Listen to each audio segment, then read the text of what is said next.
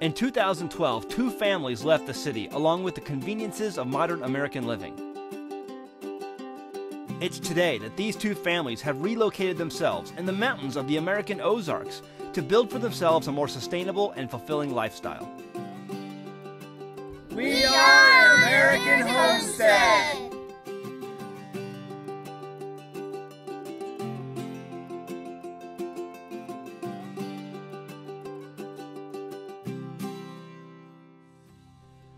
This week on An American Homestead, we start off with the Roku channel giveaway and announce our winner.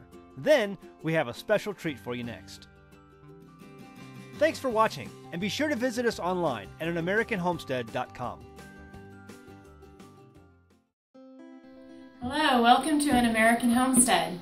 A few months ago, we advertised a giveaway and promised that we would announce the winner on our first episode of season two. Unfortunately, only one person could win, and that was Celsol Ruiz. And if that's you, this 72 hour kit from Valley Food Storage will be sent to you. We will send you an email and you can send us your address.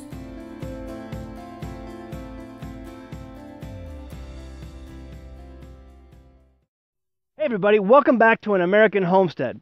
How we're going to kick off season two is like this I want to introduce to you for this first episode my neighbors. I was contacted last year by some folks who live in Florida and they were looking for land in the Ozarks. And uh, they contacted me and were looking for land. And I told them, you know what? I have 100 acres for sale right next door to me. And they came out, they looked at it, they fell in love with it, and they moved here. And they didn't wait and to, to take the time to build, go through the process of of building their land, you know, from a faraway distance. Uh, they basically sold what they have and just moved out on the land and decided to rough it for a certain amount of time while they were building their new homestead. And it's a pretty extraordinary story. And it's a pretty extraordinary family. And so what I wanted to do for this first episode is introduce you to introduce to you to them, and uh, and and you guys can see, you know, uh, just what it takes sometimes for people who are just sick and tired of the rat race, sick and tired of of spending all of their wheels uh, trying to upkeep you know the life that they have back in the modern 21st century America, and just wanted to go ahead and get out and and, and build you know a new homestead, a new life for their family. And I think you'll really enjoy seeing them and meeting them. I, I know I have. I've got I've had a real joy getting to know them, and so uh, I want to introduce for this first episode. We're going to spend the time getting to know them and their homestead and the plans they have for the future. All right, stick with us.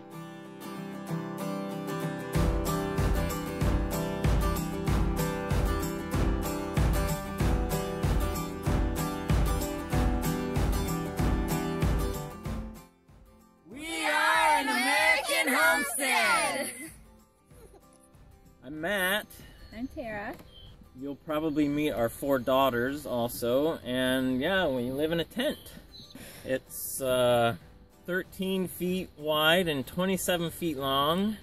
It is our mansion in the woods. So we have moved to the Ozarks, uh, about 1,200 miles away from our former home in Florida. We've traded the beach for the mountains, and we now have 95 acres. I think we were what we call our suburban homesteading days in Florida. We had 10 acres there, and we began practice homesteading, I would say, for probably, was about four years. And we just started um, one thing at a time. Let's try chickens. So we got chickens, and let's try bees, and we got bees, and let's try gardening. And we were doing all these things, and uh, we learned a lot during that time. But um, it was a struggle because a lot of it got thrown in her lap because I was working all the time, and I didn't have the time to devote mm. to all those things. So a lot of the things that we started didn't finish well because nobody had the time to devote to it. So we made a drastic move.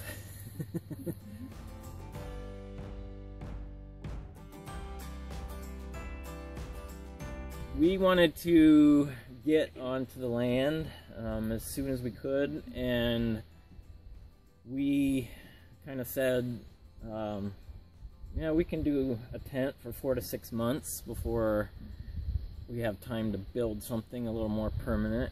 If you want to make a change and you want to get out, you'll take drastic measures. We were talking the other day that even this is not that hard compared to what people before us have done.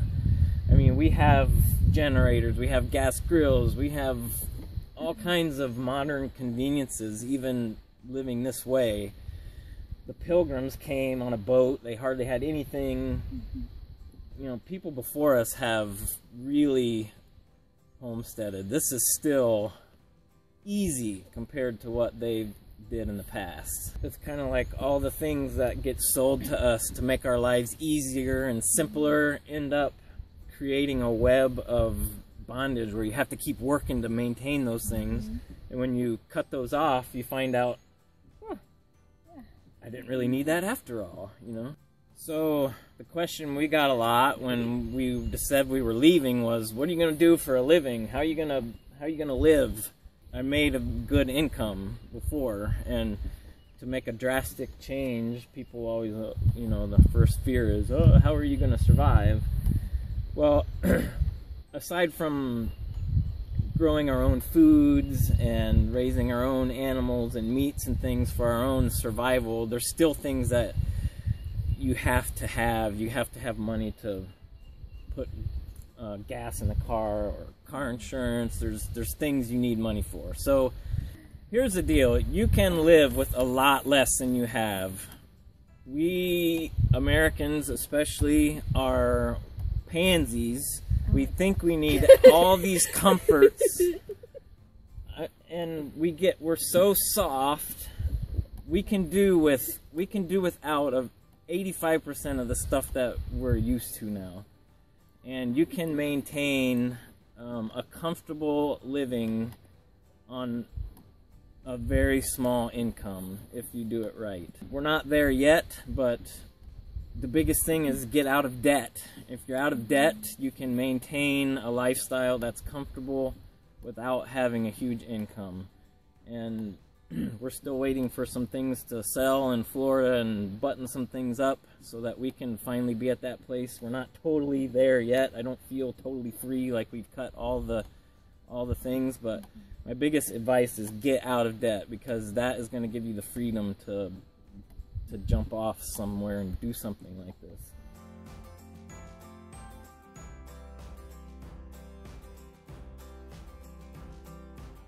So we are inside.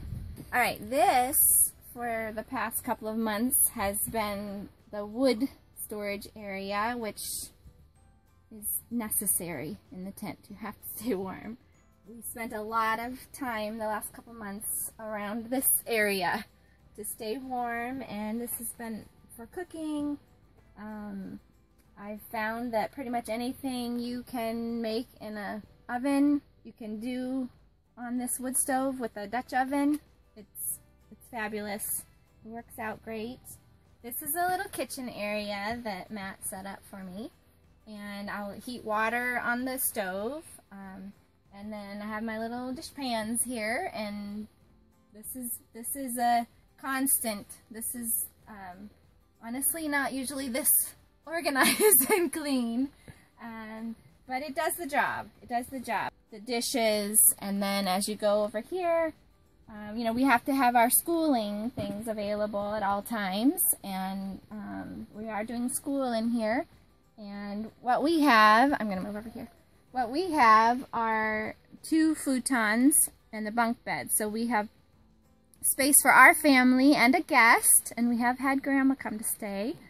Um, and back in this corner is where we have our composting toilet, and um, this is a little curtain for privacy.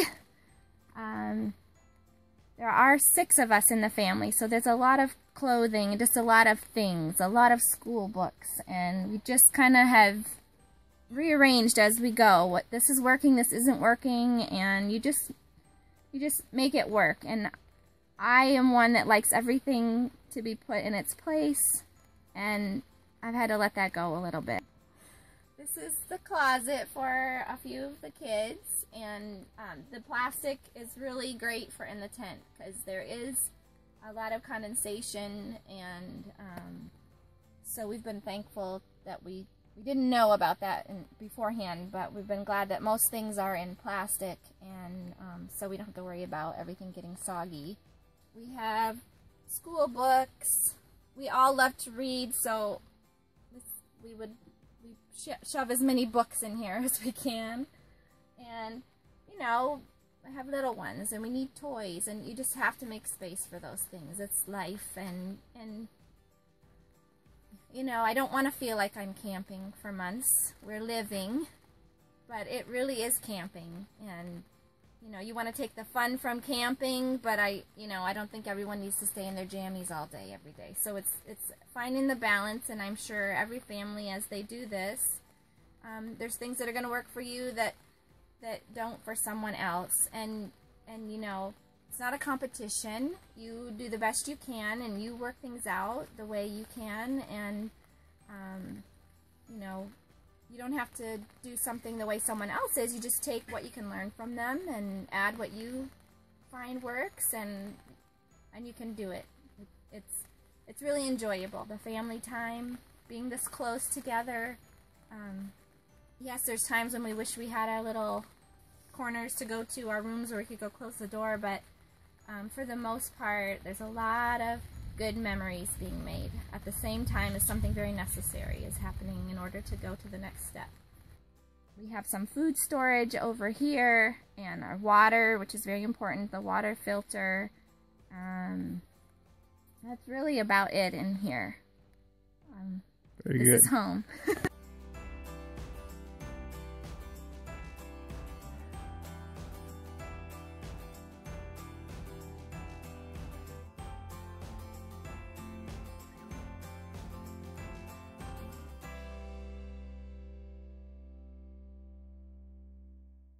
So um, once it warmed up enough for us to shower outside, I threw together this uh, little enclosure real quick with some scrap lumber we had laying around, and basically um, it's just a good old camp shower bag here, and we heat water on the over the fire, or um, we have a gas grill that we can also heat water on, and um, this is where we get cleaned up after a hard day's work, it feels good to clean up. And uh, if, you, if you have a shower and a good night's sleep, uh, you you can uh, face about anything. So.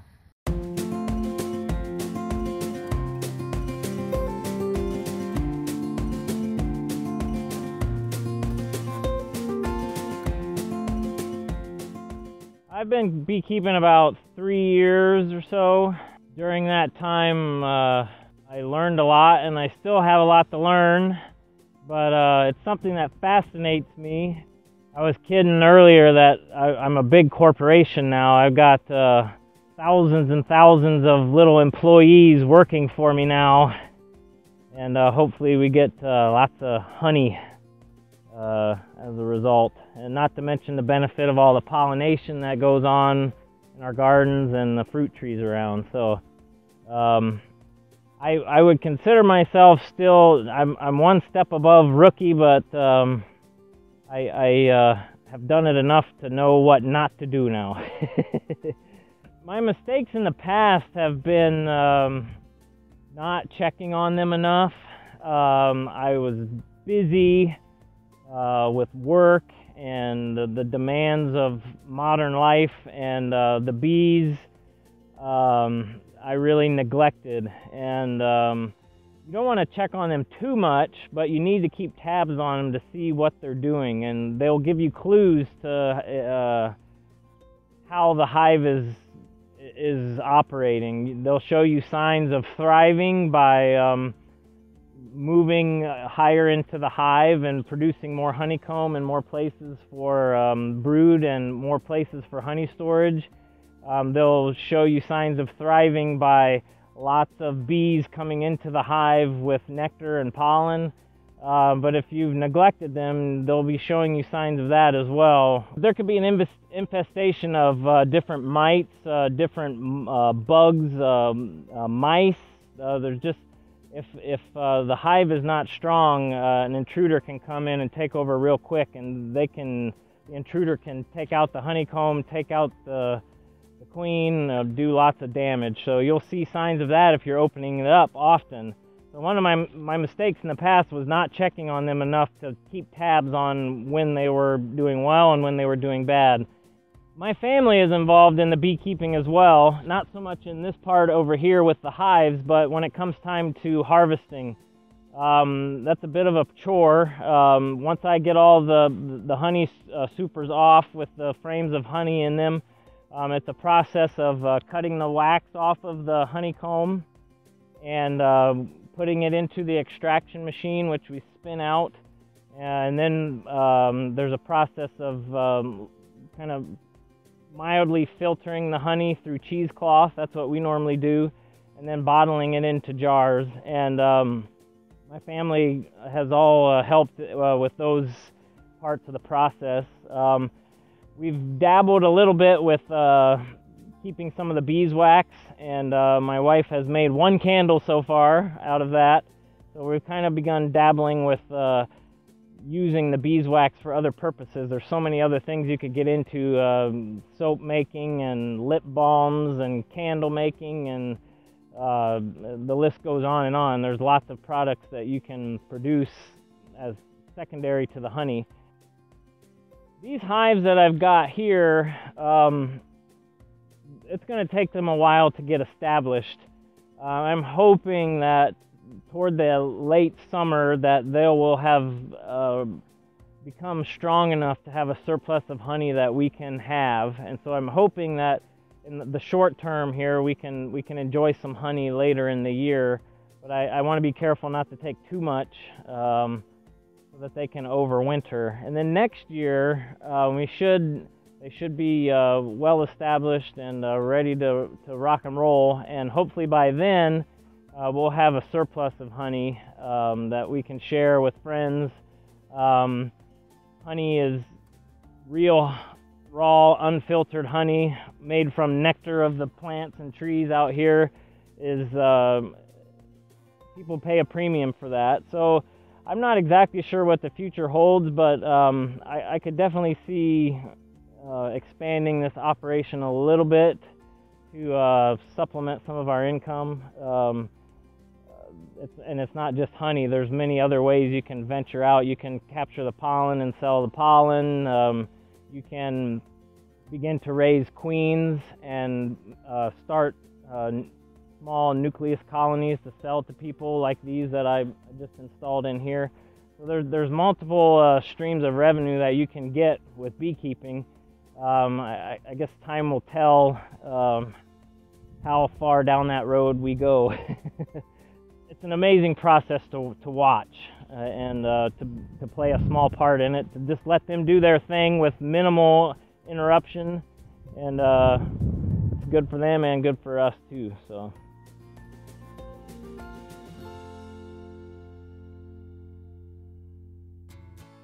What do you think? Pretty cool, huh?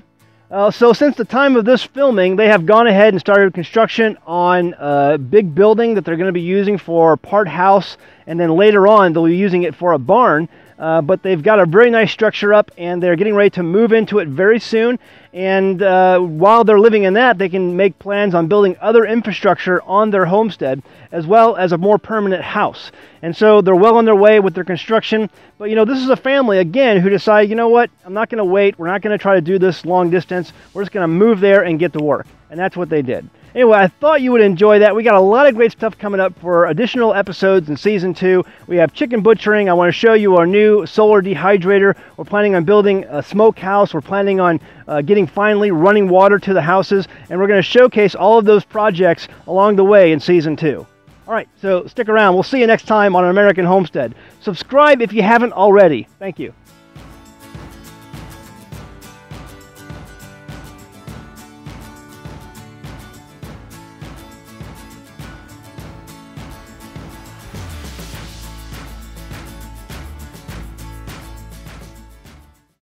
Neglected them, they'll be showing you signs of that as well. Um, there, there could be a, an infestation of, gosh,